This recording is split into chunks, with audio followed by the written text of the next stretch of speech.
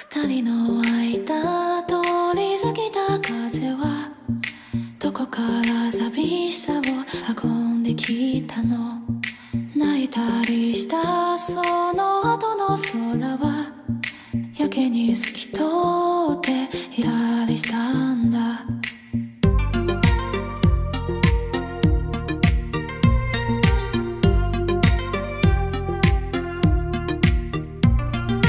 いつもは言葉が今日は暖かく感じました。優しさも笑顔も夢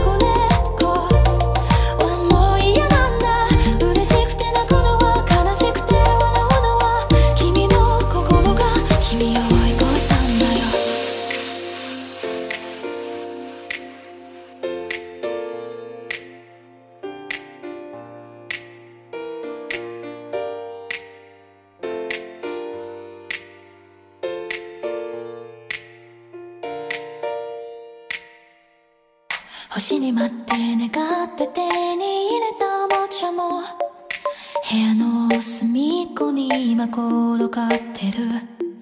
叶えたに夢も今日で100個できたよ。たった一つ大すか抗がんご症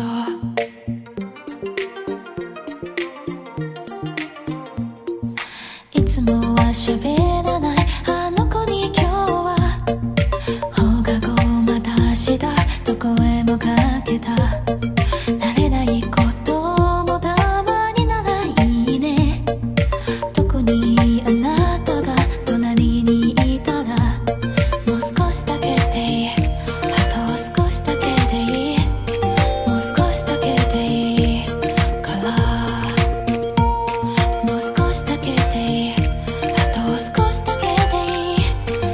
close to